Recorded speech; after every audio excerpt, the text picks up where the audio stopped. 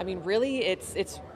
a whole different beast, and so it's kind of hard to really tell them and show them what it's like. And so I think it's something we just prepare them as best as they can, so when they get to the World Cup and they feel that pressure for the first time, that they're as ready as they can be. I think you really kind of find yourself as a team as the tournament goes on, and so we want to start off as well as we can, but we know that we can grow within the tournament like we did in 2015. Yeah, I mean, I think what I've learned huge was that you can't look past any game. Um, I think throughout, I mean, adversity hits you all the time in those tournaments, um, throughout games, throughout moments, through each game. Um, so regardless of what position I'm playing, I think overall, it's from the experience that I've got is um, to really kind of like stay in the moment because um, you know,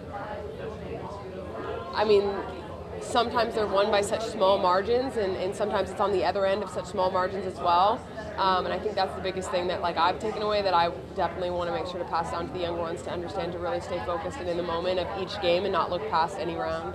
I mean, I think first and foremost, I just want them to like lean into the spotlight. Um, this is what you train, you know, your whole career for, your childhood, all of those sort of, you know, little dreams that we have when we're younger. Um, it's for these moments under the big lights at the biggest stage. All eyes are on us, um, and instead of feeling the pressure of that moment, feel the opportunity of that moment and um, you know having a good performance at the World Cup in front of a packed stadium is like the best feeling that you could ever have. So to just get them to kind of lean into that feeling a little bit more and not feel it as a as a heavy burden, but more uh, an opportunity to you know express yourself um, in the best way you know how on the biggest stage.